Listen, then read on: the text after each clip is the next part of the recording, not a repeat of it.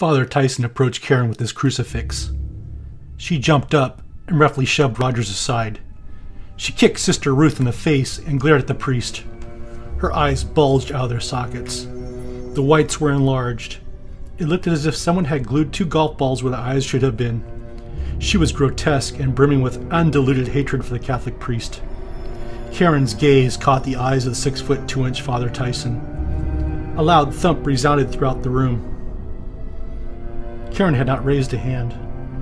Yet Father Tyson was violently knocked down. He began to moan and roll around on the carpet. Both hands clasped his abdomen. It was just as if someone had drawn back a huge balled fist and punched the priest right in his stomach. The crucifix flew from his hands. It now lay on the floor, approximately 10 feet from where he had been standing. Karen's wide and white eyes fell on the crucifix. We could actually see sparks emit from their hideous looking eyes. Electrical energy appeared to be flowing out of her. The crucifix moved on its own. It bounced along the floor for a moment. It then began to bend and twist as if it were made of soft rubber. The figure of Christ broke free. The hands, no longer nailed to the cross, tightly clasped the figure's head. It looked as if Christ was in more agony at this point than he was while he had been so cruelly nailed to the crucifix. Both the cross and the figure of Jesus then suddenly disintegrated. We all stared fearfully in amazement.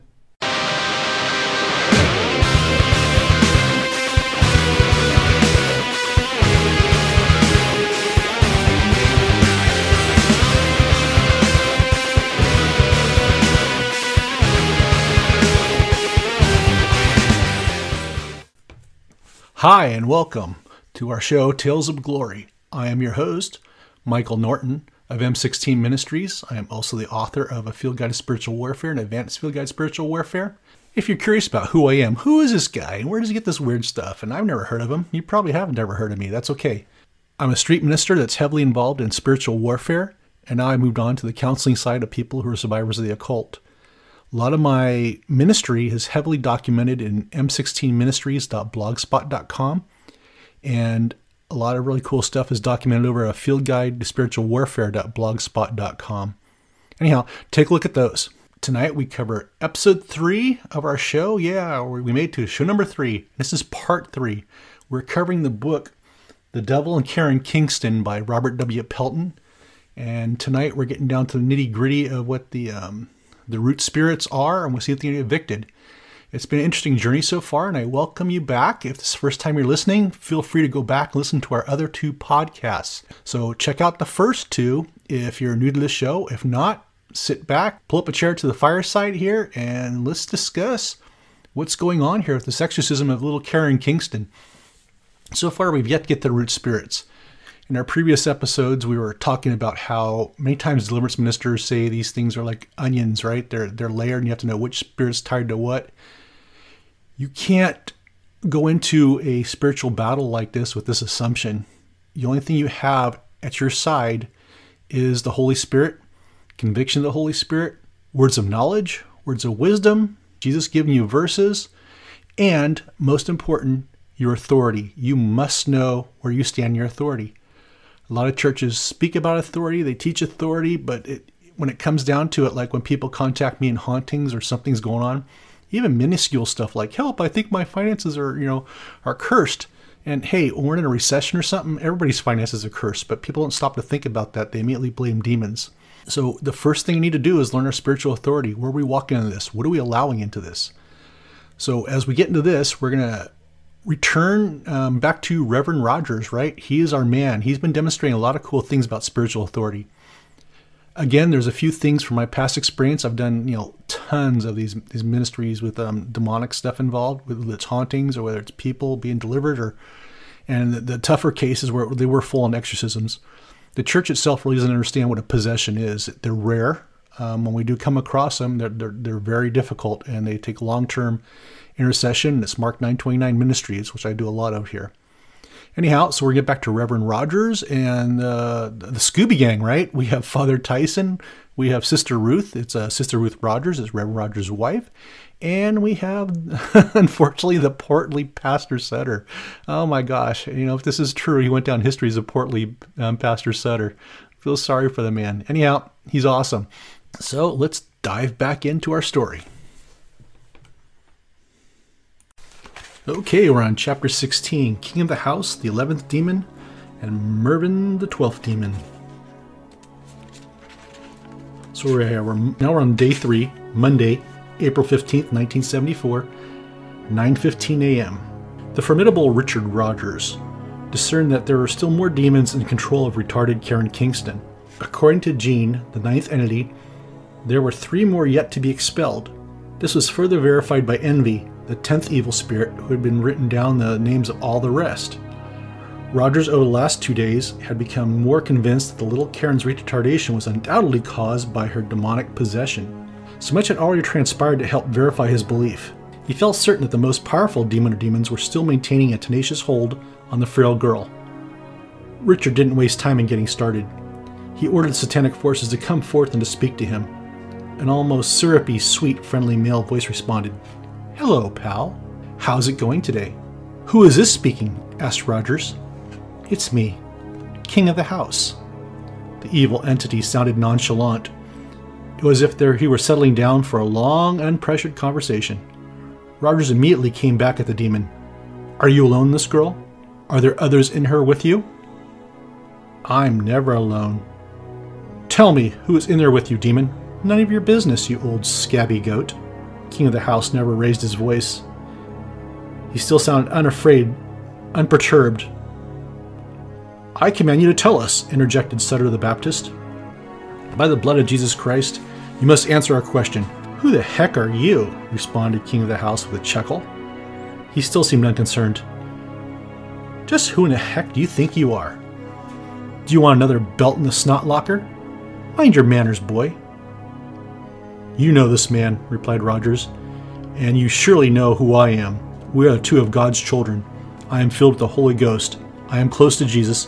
You must answer. Who is in there with you, demon? Oh, what the heck. A dull moronic nothing who calls herself Prudence, and an inane witless creep who goes by the handle of Mervyn. The voice became slightly resigned.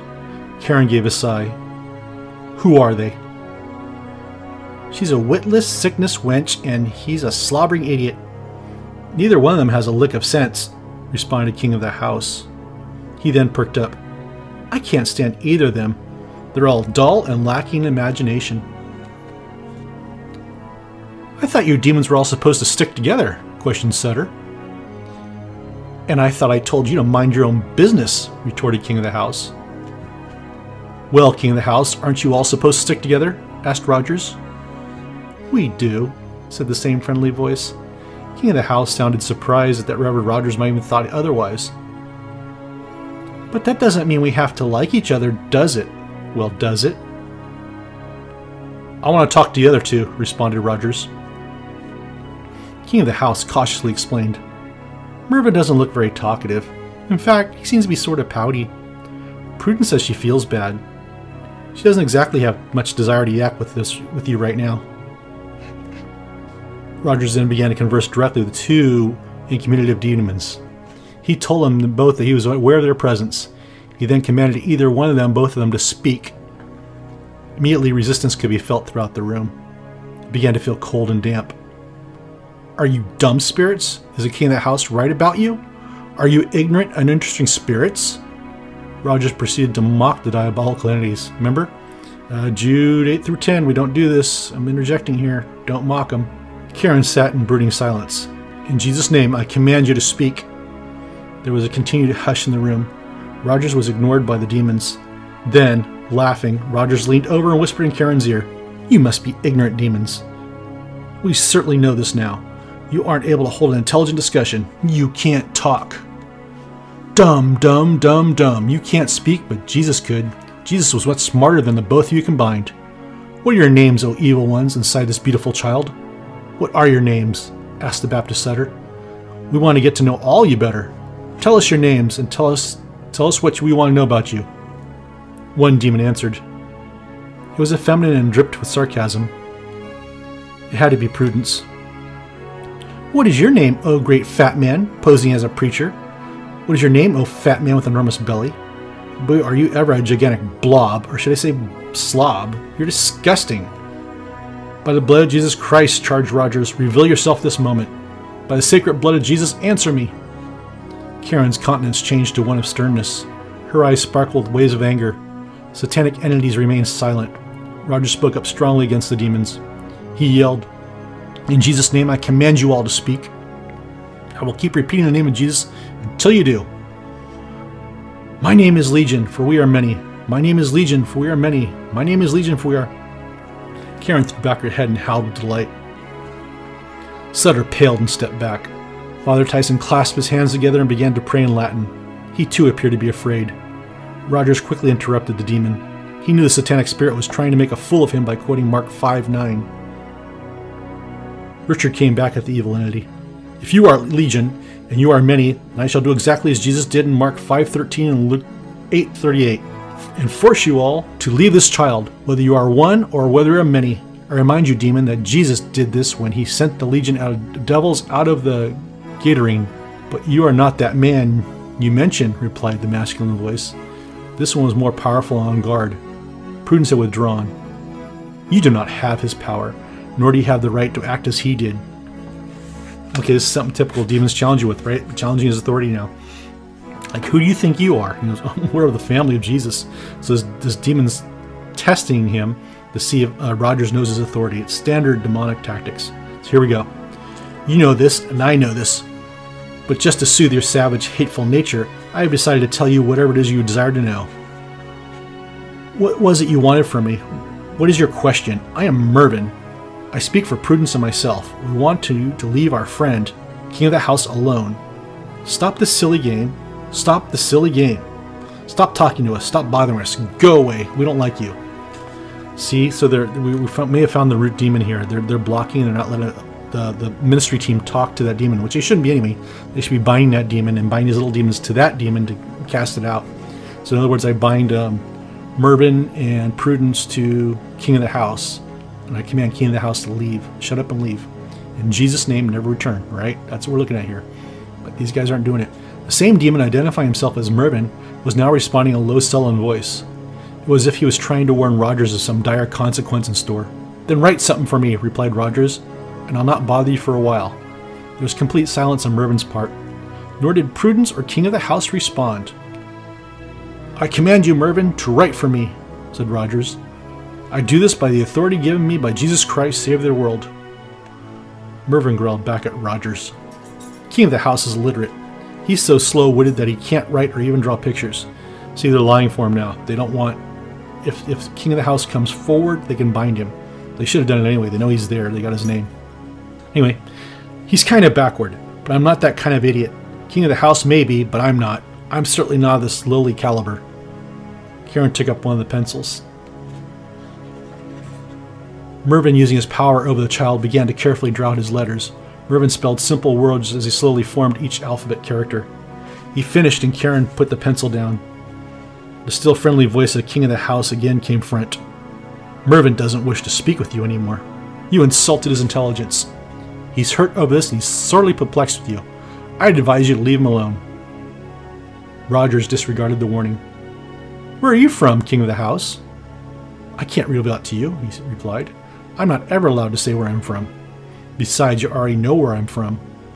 Please don't push this line of questioning. I must warn you, do not ask such things of us. Where? pressed Rogers. Where? I cannot expound on this. I'm not allowed. It's against the rules. King of the House tone was somewhat weary. He was more fearful now and quite defensive. In the name of Jesus, you're required to answer me truthfully. You must. You're beginning to play unfairly. I'm beginning to despise this house, interjected Mervyn, suddenly joining King of the House in a more argumentative tone. I'd wish I never come here. It's starting to bug me. Well then, where are you from, Mervyn? queried Rogers. At this point, Karen became wide eyed and began to whimper. She tried to slide off her chair, but Rogers, Sister Ruth, and Sutter held her down. Where, Mervyn? Tell me, where do you come from? Mervyn moaned as if he was suffering from the same kind of terrible anguish. I'm not allowed to tell you. I cannot say. I have to answer for many actions too, you know. Satan forbids you to answer? There was no further response. Does Beelzebub forbid you to reveal his information? Yes! Yes, wailed Mervyn, now thoroughly shaken. His tone was one of resignation and despair. I can say no more, but I can tell you what I am about a specialist. A specialist, responded Father Tyson. He'd be standing about 20 feet away, intently listening. The conversation had pricked his curiosity. He felt drawn back in the exorcism. The man in the black moved closer. Oh, shut up, replied Mervyn. He was brusque. Karen's head swiveled to the left, and her eyes caught fell on the Catholic priest. Who the hell do you think you are, such audacity? You're a rude son of a bitch. I'm not talking to you, so keep your mouth shut and let us carry on an intelligent conversation. I warn you, Tyson, button your lip. Father Tyson hushed. He looked hopelessly over at Rogers. Mervyn chortled, Don't look at him. He can't do anything to get you off the hook. Just keep your damn big nose out of this discussion. It doesn't concern the likes of you. Then to Rogers. As I was saying, before we so rudely interrupted, I'm a specialist. I was handpicked by our leader for this particular job, and I will say I think I'm a pretty good in my specialty. So you're a specialist? A specialist in what area? asked Rogers. Exactly what kind of demon are you? Gosh, I thought you'd never ask, joked Mervyn. Everyone here knows me as the powerful one. I boss them all around. I even take all our jobs over when I feel I need to do some diversions. It can be great fun. It's especially nice since I can do anything at any given time. Okay, so here we're dealing with a spirit of distraction. I still think um, King of the House is the, the root spirit here that we need to go after. And so Mervyn pops up, and now he's distracted. Spirit of distraction, right? He's going to run interference. He can do whatever he wants when he wants. He's trying to protect the root spirit in there. I have total authority over your leader, emphasized Rogers. Jesus is the reason I have such authority. Satan, or whoever it is you call him, is my slave, just as he was a slave of Jesus Christ. I have authority over your master, just as I have authority over you, demon. Therefore, I command you and king of the house both to leave this child's body. There was complete silence. Another chill passed through the room. Karen appeared to be dumbfounded. She blinked as she had difficulty seeing. Rogers continued. I command you in the name of Jesus on his blood to release this young girl from her bondage. Depart from her. Karen gasped. Mervyn weakly replied, I am so damn worn out. Let me rest for a minute, then I'll be glad to go away. Just allow me a moment's rest. He tried to withdraw. Rogers would have none of that. See, the spirit of distraction is trying to slither out of here. That's what he's trying to do. So keep an eye on this. He strongly sensed that victory was dose at hand. I'm beginning to get a horrible headache. Please wait for a few minutes. My headache is about to split. Karen clasped her head with both hands and sobbed. This time it was King of the House who was trying to swerve Rogers off course. His voice tone had changed. It was candid. Please call the good Dr. Pershing over here. Let him help me. I really need to discuss my illness with him. See, he's running a distraction, another one. That's all it is, this distraction's here, to stop down the stop the exorcism, stop the expulsion of demons. If you want won't quit harassing us, then at least you could do would be allow me to speak privately with a good doctor. Dr. Pershing, even after all he had seen over the past two days, was still taken by surprise at the request made by king of the house. But he didn't lose his composure, nor did the man of medicine make any effort to come any closer to Karen. He had witnessed too much, both in the spiritual realm as with the physical. He was mulling over the situation. Dr. Pershing thought, I've personally witnessed numerous and astonishing physical manifestations of this demon, if that is what they actually are in this child. So, have all the other professionals in this room? Yet, can it be real? Nothing at all like this is covered in my medical text. Imagine what it would be sound like if I were to print this case in an AMA session. Why, they'd laugh me right out of business, but then it's true. I've seen these physical changes, and yes, I did examine Karen before, during and after the various exorcisms. Yet I still can't bring myself to admit that physiologically reality of our clear reversals in this child's condition. No, it can't logically be. But here it is in front of me, staring me right in the face. God, oh God, help me to understand. Meanwhile, Rogers was continuing his verbal attack on the demons. He ignored Karen's heart trending sobs, right? It's distraction. He ignored the pleas of the king of the house. You both know that you must go. I'm ordering you out, said Rogers. Richard appeared to be gaining new spiritual strength as demonic entities noticeably grew weaker. He proceeded with the battle. In Jesus' name, come out, Mervyn, and come out, King of the House. Both of you, come out in the name of Jesus. Okay, okay, I'm coming, I'm coming. I don't like it in here anyway, rasped Mervyn. King of the House didn't reply. You've really screwed everything up in here with the damned religious bigotry you keep spouting off. I am leaving peacefully. And with these words, Kevin's mouth flew open, Her chest went in a slight pumping motion. Her Adam's apple bobbed momentarily. She began to gag, her hands clutched for her throat as she shook and shivered. Rogers again commanded Mervyn to release her. The demon had broken his promise to go quietly. He tore her from Karen with all a shrill, ear shattering scream. There was one last great convulsion. It picked Karen right up out of her chair. She was tossed limply across the room. Rogers, Sister Ruth, Sutter, and Tyson jumped to her aid. They all helped the forlorn little girl to her feet. She stood there limp, shaken, and bewildered. We thought that Mervyn had departed, but Reverend Rogers knew better. Well, you've won this time, preacher boy, sneered Mervyn. He sounded disgusted at the outcome and resigned to his ultimate fate. Karen's face was expressionless. We'll meet again sooner or later. I'll get in with you for this. You almost got everybody out of here now. All that bossy garbage you've been throwing at us, I won't stand another minute of it. I don't have to. Don't worry, I'll go. I'll go. There are plenty of other places better than this one. Karen belched loudly three times and began to cough as she sank back to the floor. Green slime filled her mouth. She gagged. Sister Ruth held a large towel to Karen's lips and collected the gooey, malodorous mess. Peggy and Joyce rushed out of the room in search of a container. They soon came back with a large five gallon white metal can for Sister Ruth. Karen kept spitting out more and more of this terrible smelling substance. She'd unload huge gobs every time she retched. An almost continuous flow suited for her from 11 minutes. It was thick and sticky, much the same as mucus, but from a bad chest and head cold. Finally, it stopped. The five gallon can was three fourths full. Mervyn was gone. This time it was different from Father Tyson approached Karen with the crucifix. She jumped up and roughly shoved Rogers aside. She kicked Sister Ruth in the face and glared at the priest. Her eyes bulged out of their sockets. The whites were enlarged. It looked as if someone had glued two golf balls where the eyes should have been. She was grotesque and brimming with undiluted hatred for the Catholic priest. Karen's gaze caught the eyes of six foot two inch Tyson. A loud thump resounded throughout the room. Karen had not raised a hand, yet Father Tyson was knocked down to the ground. He began to moan and roll on the carpet. Both hands clasped his abdomen. It was as if someone had drawn back a huge, balled fist and punched the priest in the stomach. The crucifix flew from his hands and now lay down on the floor approximately 10 feet where he had standing. Karen's widened eyes fell on the crucifix. We could actually see sparks emit from those hideous looking eyes. Electrical energy appeared to be flowing out of her. The crucifix moved. It bounced along the floor for a moment. It then began to bend and twist as if made of soft rubber. The figure of Christ broke free. The hands no longer nailed to the cross, tightly clasped the figure's head. It looked as if Christ was in more agony at this point than while he was crucified on the cross. Both the cross and the figure of Jesus suddenly disintegrated. We all fearfully stared in amazement. All during this horrifying episode, Roger, Sister Ruth, and Sutter kept right on praying together. They had closely followed Karen's ever movement and tried to keep their hands on her.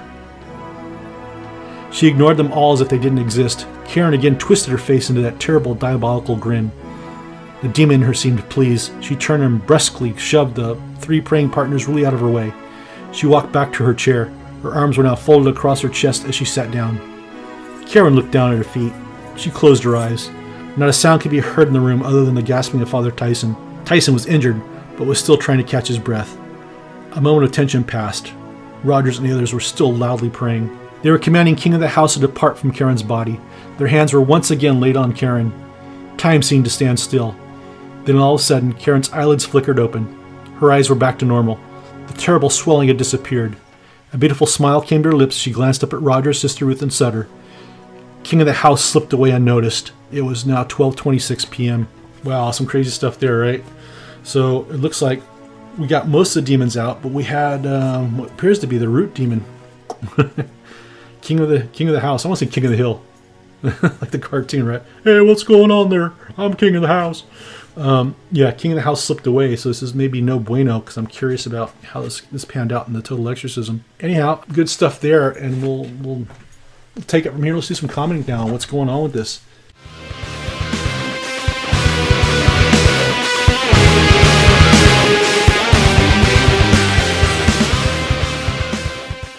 And now, a word from our sponsor M16 Ministries Training Series. Yes, this is the series that keeps the lights on the M16 bunker. Hey, if you're a spiritual warrior and you're any but serious in your prayer warfare and you're dealing with um, supernatural, you're dealing with hauntings, you're dealing with blessing houses, tainting objects, you're dealing with, you know, full scale demonic oppression, the occult, You have to get your hands on these books. These are the only books out there like this that I know of that train people to walk in their authority. Again, spiritual authority is caught and not taught. You're not going to learn through these little conferences and these things that, that you have you read these formulated. Basically, what they are is like church for doing their rituals. They're, they're rituals. They're rites. They uh, you do this, this, and this. They're formulas. A formula is a rite. It's a ritual.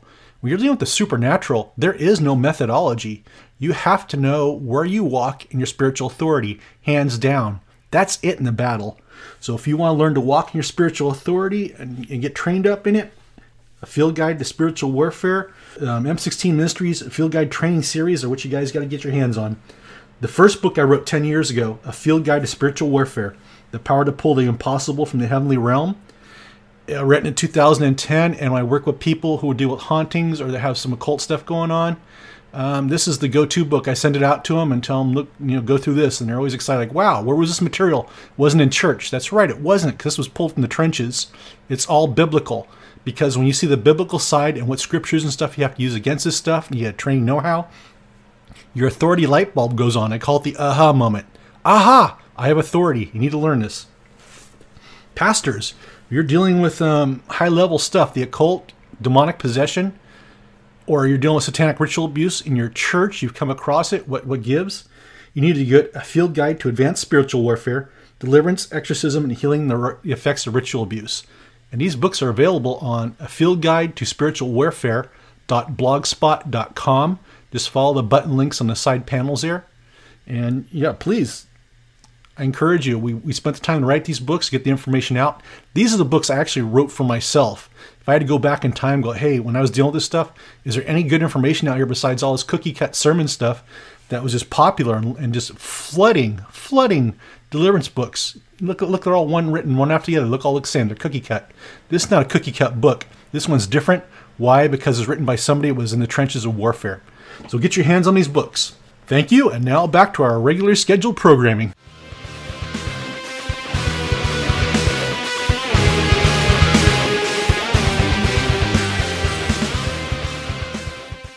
So we've gone through nearly all of the exorcism of Karen Kingston that was provided in the book by Robert Pelton. Uh, in the follow-ups, he has um, regarding the epilogue on Karen. By July 1976, Karen Kingston had surpassed all of Dr. Manley Fromm's expectations. Her IQ had risen another seven points to a new high of 117. By the late fall of 1976, Karen began doing combined 10th, 11th, and 12th grade level high school work while still under the special tutoring in the spring of 1977, the third anniversary of her exorcism, both doctors felt that Karen, now age 16, had sufficiently matured and could be safely placed in the public school system. Karen's IQ again was found to have risen, this time by four more points to 121, five points higher than the 116 previously predicted by Dr. Manley Fromm and Dr. Clarence T. Emery. Karen Kingston's miracle is complete. She finished her senior year of high school and graduated top honors in June of 1977. In the fall of 1977, when Karen entered college, she majored in mathematics and minored in religion. Cool, some cool stuff there. So she received a full healing. That's, that's awesome. So let's go back let's just piece together. Like I said, we're talking about this was a crime scene investigation here for the Field Guide Spiritual Warfare Crime Scene Investigation Unit. Let's go back and look at a few things here. Um, like I said, a lot of things didn't resonate properly. I'm not poo-pooing this exorcism. I believe the exorcism took place, but I think there was some some you know sensationalism going on in the story. I don't know, but let's go back and review a few things that are, are important that lean towards um, how the exorcism did take place. Okay, and first of all, I want to go back and look at Reverend Rogers. He was the one that led a lot of the charge into dealing with the demonic possession, right? He was the one going after the demons, he's provoking them. Again, we said that style wasn't good, but at the time, you know, he, he had to do what he had to do what I'm leaning on here is look at how all the other pastors around him were attacked. And he was the one provoking, but he didn't really get attacked, right? What's going on here? That man, Reverend Rogers, was walking in his authority. Oh my gosh, they didn't want to deal with him. They backtalked him, but they didn't try to harm him. Look, they went after Father Tyson. They went after our portly um, Reverend Sutter, Pastor Sutter there. Did I get an amen? Our Reverend Baptist. He went after um, Sister Ruth too. So the, the demonic, you know, entities knocked Sister Ruth down a couple times, but um, they never really went after Reverend Rogers. I think it's it's an atonement or a, something that's saying where he's walking spiritually. He knew where he's walking in his faith with Jesus Christ, right? Jesus Christ is real. It's, it's not some you know fictitious thing, or I'm walking through these rituals and I'm reading these prayers because that's in the Bible. It drives out. No, this man knows Jesus is real. It's uh, you know he knows Jesus is Lord of Lord, King of Kings, in his spirit and his soul. He's a, this is a saved man going up against evil, the forces of darkness. Um, we take a look at things like I know just 100% man just, just from this part of the story alone how he was left alone that this man is walking it man. Reverend rogers is doing it. So when we speak of authority. Let's look back at luke 10 17 through 20 the return of the 70 disciples. The 70 returned with joy saying lord even the demons submit to us in your name. He said to them i watched satan fall from heaven like lightning in a flash look i have given you the authority to trample on snakes and scorpions and over all the power of the enemy Nothing will harm you. However, don't rejoice that spirits submit to you, but rejoice that your names are written in heaven. So we know for sure Reverend Rogers is written in heaven. Most likely their pastors are too, but like I said, there's there's something different here. This this was not Reverend Rogers' first rodeo. He knew how to take on demonic spirits. And so it's just it's that alone um, helps build up the story of how an observer told it. Because if a lot of this was manufactured, kind of like Hollywood, right? When we see the Hollywood movies, we have the priest stand up against the forces of darkness, and his he just fails in his faith and he falls to the ground. You know, things like that. If we just left the story where we like we had uh, Father Tyson and his cross fall to the ground, and then Jesus flings off it and just you know disintegrates. We know objects can be manipulated and moved like that. I I know um, individual I worked with on, on other radio shows where in their haunting, it was a demonic um, activity in the house that they literally moved a, a, a, toy dinosaur and animated it. So yeah, this stuff does happen. But what if if this story was fabricated? I think we would have leaned more on having Reverend Rogers get beat up too, and we never saw that. We just saw that this was Reverend Rogers knew that the power he was tapping into was far more powerful, infinitely powerful than what Satan can conjure, and he stood in authority against it. So I think that that alone was you know that me on the story that yeah this did take place. So it's just it's, it's incredible. Um, the healing too the healing that uh, karen received through all this. The other point i want to lay on too i thought was kind of fascinating here was um, there's such a purity to this story right? It's untainted by what we think we know about deliverance now and exorcism because we have all these books. And there's so much um, just i know trash out there folklore do's and don't do's Reverend Rogers and his team just went after it like they did the book of Acts. You got something going on, somebody needs a healing, you lay hands on them. When I speak about in um, some of my training sessions about where I lay hands on people, there's this false notion around church we're going, you can't lay hands on demon possessed people because the demons will go into you. You know, I get this all the time. Then, within an hour later, those same people, if I talk about Christians can be demonized, well, they can't be demonized because they got the Holy Spirit in them. you see the conflict in this this this notion that oh my gosh, I can't lay hands on people, I'll get demonized, but I can't have a demon, I have the Holy Spirit in me. So yeah, there's just this weird thing, but the purity of how you know Reverend Rogers just went after like the Book of Acts. He knew his Bible, he knew his scriptures. This man was awesome. So he just laid hands on people, and this is what you do. I mean, you know, you could just lay hands on somebody that's demonized, not say a word, and just have them say, "Holy Spirit, come." Holy Spirit, fill this person the demons aren't going to stick around. They don't like it. You can just sit there quietly. You don't have to know what to say. You don't have to have all your little deliverance conference books. Lay hands on the person. You another person. Never do this alone. Always have somebody else with you. You know, safety in numbers. And um, keep an eye on the person as you're laying hands on them. You know, in case they manifest, something happens, when something pops up, just keep laying hands. Holy Spirit, more. I bind whatever's looking at me right now. I bind you in the authority of Jesus Christ. You're done. You know, just lay hands on somebody. Just, just pray for the Holy Spirit to come. They'll drive them out too. Um, that's if you're just stuck, you don't know what to do. You don't have to have all the words. Let the Holy Spirit do it. He, Jesus and the Holy Spirit and God, they're the ones that drive the stuff out, not us. We have authority, yes, because God gave it to us at the cross. So walk in your authority, like Reverend Rogers showed us, like like he said, like you know, my master is Jesus Christ, right? And then the, the spirits always retort like, well, what makes you think you're you know you can answer to him or he's going to help you? That's their typical thing. They're going to plea bargain or they're going to argue with you. But yeah, no, Jesus is my master. He's my Lord and Savior, and you guys are done. So his attitude of how he came through all this was kind of cool. It was very, you know, golf clap, golf clap to Reverend Rogers there, golf clap. So you know, this stuff's amazing. Uh, the other thing I want to talk on too is um, this the handwriting was not indicative of demonic possession. I'm leaning towards you know, what we're seeing here was an exorcism with demonic possession, you know, the levitation and stuff like that. But you know, sometimes the stories of levitation too in this book are what kind of threw me on the side of the fence. This stuff was sensationalized. I've seen levitation, I've seen it happen, but not for seven or ten minutes. You know, people go on the ceiling, banging their heads on the wall and stuff. And it just something was wrong as to why a man of this, this stature and spiritual walk, Reverend Rogers didn't bind it right away. You see somebody starting to float, I bind you to the ground. You know, he would have done that. That's I, I feel that's what he would have done, or probably even have done in these sessions. I don't know. But again, so going back to using um, the writing, one, it's spirit writing. If these were demons writing, this is you know, uh, this is a, a faux pas. No, no, don't let the demons write. Don't let them write anything. Remember, I explained to you last time how um, the demons were writing um, witchcraft spells for people to read out loud, you know, to curse them. Don't give them the opportunity to speak. Shut them down. Second is it's not indicative of a demonic possession. Uh, the people I work with who are survivors of the occult, they have multiple identities. And all these identities can come up. They can use different hands, you know, whatever. And none of their handwriting looks the same. It's like different identities have different styles of writing.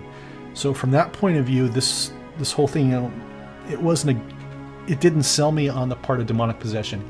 It was just the story itself that, that sold me this exorcism was real. So, like I said, yeah, it's just maybe we had more information now, and maybe probably Reverend Rogers would have chose something else rather than have her write stuff down like he did. I'm just curious what he thinks about that now, or if they're even still alive. I'd be curious because none of the people at the end of the book are mentioned how to contact them. They could have passed away as their families. Um, how do we get a hold of them? And supposedly they recorded this stuff. There may have been video, there may have been audio. That would um, kind of help the story too, but it's not there. It just um, we do know that the information went out to different conferences towards the end of um, the 70s. They talked about a lot of the handwriting and stuff, so that got out somehow. So this this exorcism did take place, and the, we know that Karen was liberated. I'm just curious to what extent she was liberated. Also, I know 100%, like I said, after what she went through as a child, she has to have dissociation. Uh, did she receive healing and dissociation and other things? You know, as she's older, maybe it'd be kind of cool for her to come out and speak to churches and stuff and talk about it. You know, I don't know. But that's kind of my feel on it. It's just, there's there's no way she could have walked away without being dissociated with her child experiences. Um, this is even before demonic possession. I made comments too that if she was this heavily demonized, somebody did stuff to her in satanic rituals Maybe that's why she's hiding. Maybe she's not talking about it. I don't know. So horrible stuff was done to get her to this level of possession. These just weren't generational spirits, right? Something they they put her through something. They had the, the spirits of pedophilia come up. Those were from rituals. Something was going on here. So it's just yeah. There's a whole story here, and I, I imagine now she probably wants her privacy. She's got to be like 60 years old now or 70, who knows, with this stuff. So yeah, she probably wants her privacy or whatever's going on. But it, it'd be interesting to have a little more detail or documentation, or even just you know release the audio tapes if they're somewhere. It's I don't think we'd ever get anything out of them just hearing the, the growling and shouting and stuff going on. Like I said, there was a lot of banter going on. We didn't need that either. So when this banter happens, you know, they're talking about I'm I'm in charge. Why do you want to know who's charged? You know, bind to shut up. And just lay hands there and command it to go. The authority of Jesus Christ command you to go. You're sitting there for 15 or 20 minutes, things just staring at you. Just Holy Spirit more. Holy Spirit, increase in this room. Fill this room so we can't even stand, right? Just Holy Spirit, increase your presence. And they're there for 20 minutes staring back at you. In the authority of Jesus Christ, what sin are you? I, I command you to answer truthfully in the name of Jesus Christ. Holy Spirit, you know, make them answer in Jesus' name. And then wait for the sin to come up and bind it to the sin. Command to leave. Most Christians are under the assumption because of Acts 16, the way Paul kicked out that Chthonic demon, it said it came out in the King James Version in that hour, which leads, leads me to believe it took an hour for that thing to come out, right? It, a lot of Bibles say right away it came out. I don't believe it did, but it's possible. Paul was really su- super naturally walking in his authority. So maybe it did come out, but I kind of think it kind of showed um, who Paul was as a man and his faith. It took him an hour to cast out a, a, a person who was demonically possessed that subjugated themselves to demonic possession, which is a harder one to kick out. He did it in one hour as compared to Jesus, it comes out right away, right? So yeah, Christians keep in mind it could take several days like this did. Just or it could take, you know, I've worked on cases where depending on something like this, it could take up to a year or so. If it only took three days and as demonically possessed as Karen Kingston was, then it was totally under the Holy Spirit to liberate her within those three days. And again, we don't know where King of the House was. That cracks me up. The name. I'm King of the House. Sounds like King of the Hill, right? Um, he got away. Where'd he go? Is he still around? Did he still affect Karen nowadays? We don't know. So it's just, you know, just there's some answered questions here, but you know, it is what it is. I know a lot of churches have turned this into a Bible study. It's not worth the Bible study. It is not. Um, it's an interesting story. It's an interesting read. It's in large print. Um, I didn't find it all that interesting to be read through as a Bible study. It's just because there's so much banter here, so much going on. It's actually a lot of it the wrong way or how not to conduct an exorcism. Again, it was effective because it was on the grace of Jesus Christ, right? You know, Pelton probably did a lot of deliverance ministries of oppression, and all of a sudden, bam, there was demonic possession. So, you know, the Holy Spirit walked him up in his training up to this point. You get my point here? So, we didn't see Reverend Rogers flinch any time when weird stuff was happening. He always stepped back in. He let the other pastors, you know, he was operating one accord, Book of Acts, right? He was operating on one accord with the other pastors, but when something got out of their control, like Father Tyson, who never did this before, we saw Father Rogers, excuse me, we saw Reverend Rogers step up to the plate and handle things. So it's just, you know, it is what it is. It's an interesting book, but you know, I know as churches doing this as Bible studies, it's, it's not worth the Bible study. Um, you may find it fascinating because you've never seen this demonic stuff before, but like I said, I've been through so many of these. This one kind of raised more questions than it did answers, and it's definitely not worth being training material. If that's if that's where I can leave this at. Anyhow, so I hope you enjoyed our uh, very first three broadcasts of Tales of Glory from the files of M16 Ministries. Again, um, we thank you for listening in. And if you ever want to support our ministry, we can always use the help. You can go to a field guide to spiritualwarfare.blogspot.com and there's a PayPal button. Just, just tag that thing and show us some love, man. We could always use it. Anyhow, this ends the first uh, three episodes. We're covering the Devil and Karen Kingston book by Robert W. Pelton.